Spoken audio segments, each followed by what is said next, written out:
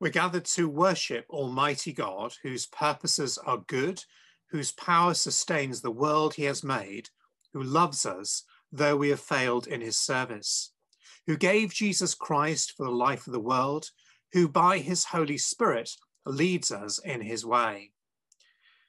As we give thanks for his great works, we remember those who have lived and died in his service and in the service of others. We pray for all those who suffer through war and who are in need. We ask for his help and blessing that we may do his will and that the whole world may acknowledge him as Lord and King. And so we listen to our first hymn.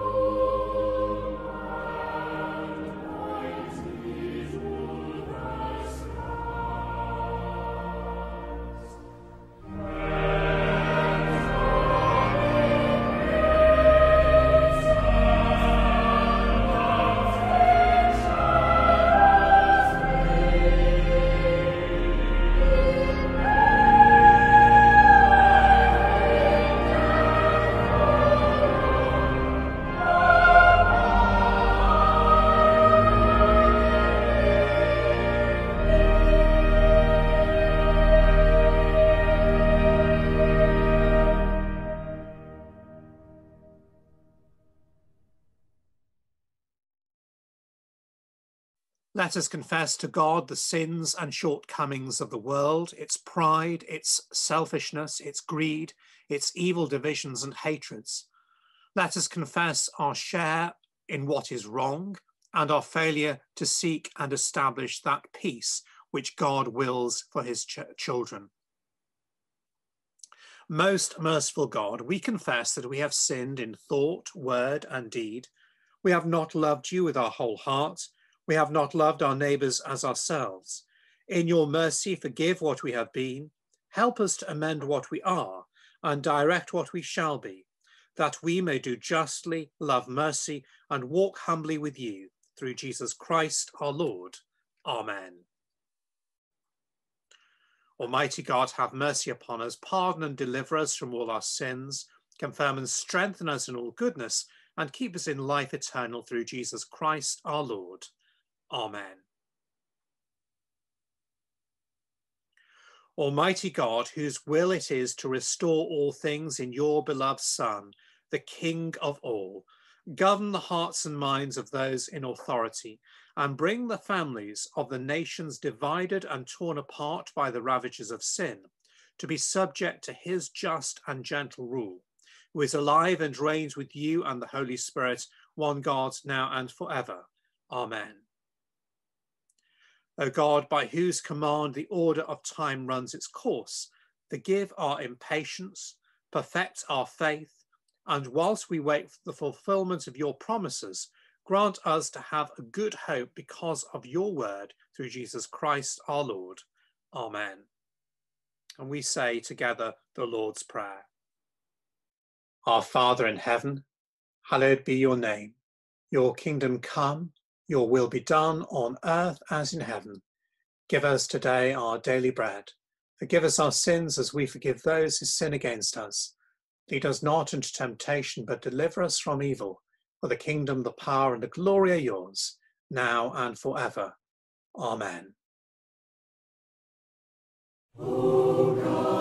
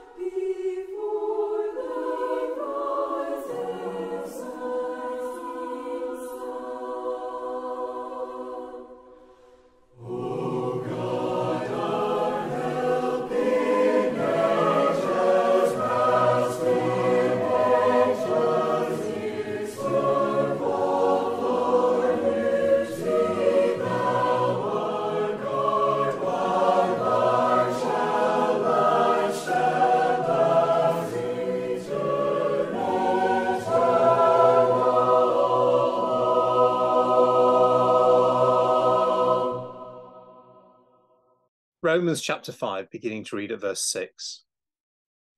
You see, at just the right time, when we were still powerless, Christ died for the ungodly.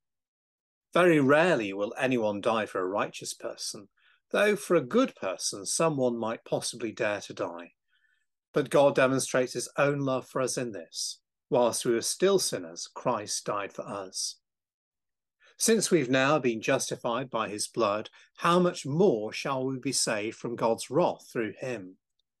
For if while we were God's enemies, we were reconciled to him through the death of his Son, how much more, having been reconciled, shall we be saved through his life?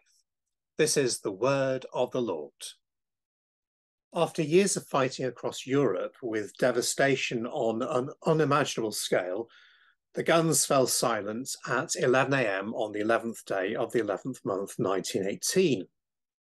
And we gather today on Remembrance Sunday. It's the Sunday closest to November the 11th, uh, Armistice Day, to remember all that happened. Nine million had died.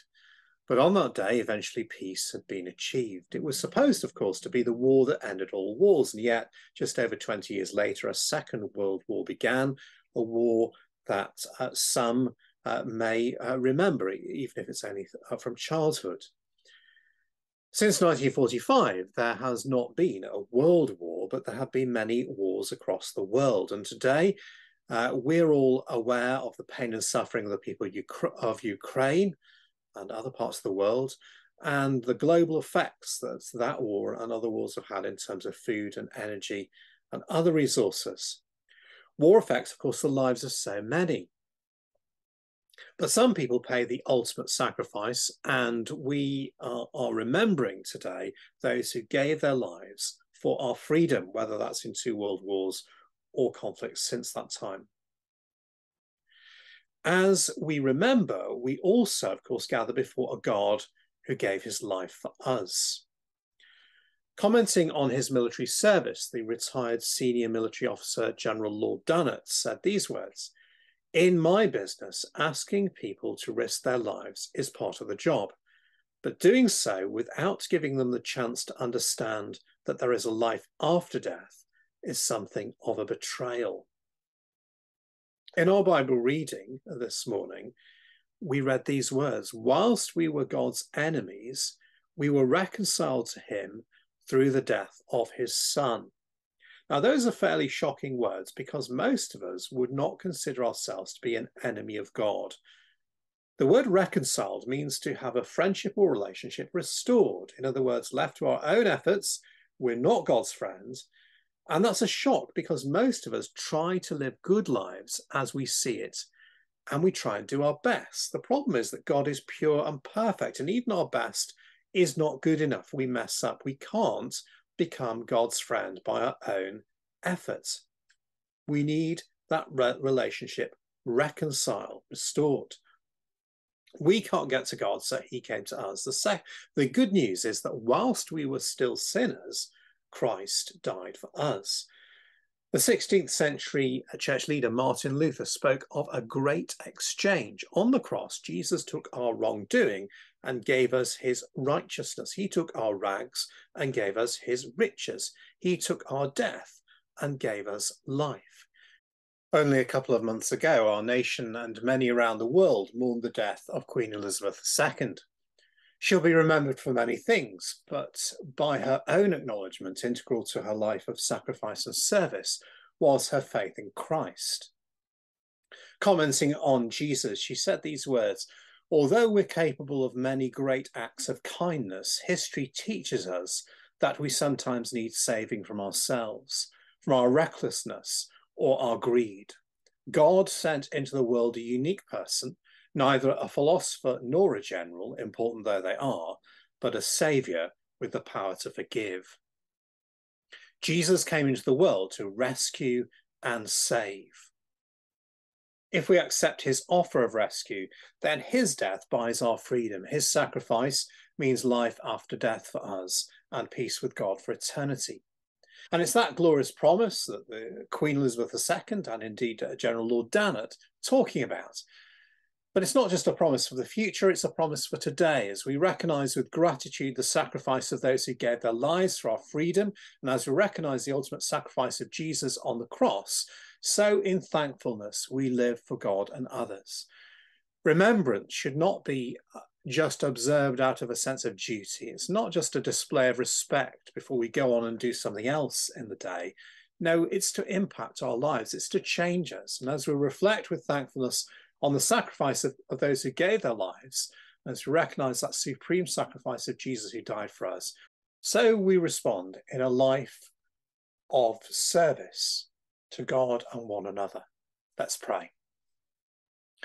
God in heaven, as we remember those who've died on our behalf, let us never forget the great sacrifice that they have paid.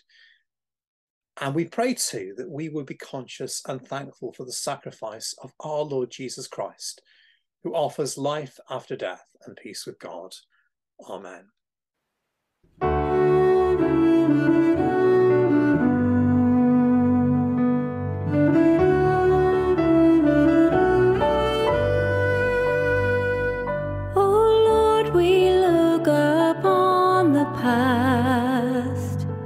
Remember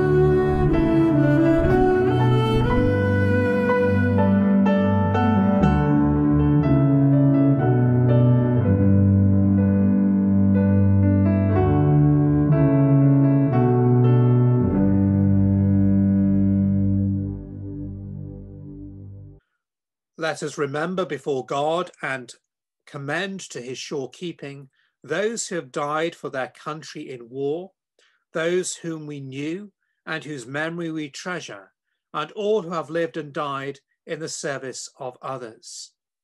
We particularly uh, remember at this time those uh, from our own community who gave their lives uh, in uh, war or, or, who died uh, as a result of uh, war.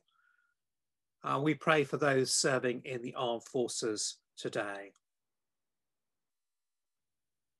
They shall not grow old as we who are left grow old.